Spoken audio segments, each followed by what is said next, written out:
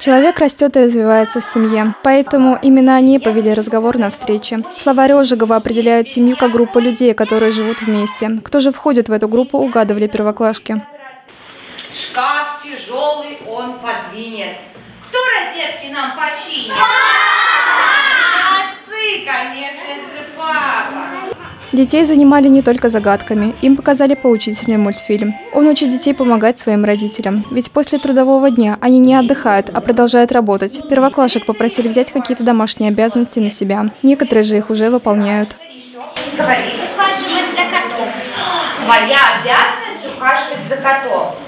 Символы семьи считается утка-мандаринка. Они всегда живут вместе, как лебеди. Неудивительно, что про них не забыли на встрече. Для детей устроили интересный мастер-класс. Помогали ребятам в этом мамы, волонтеры и учительница. Мне понравилось мероприятие. Мы делали уточек и в конце дали нам конфетки. Это была беседа, беседа с детками из второй школы. Мы пригласили их сегодня поговорить на тему семьи, о том, что должно царить в этой семье, добро, а, лад, отношения между друг другом.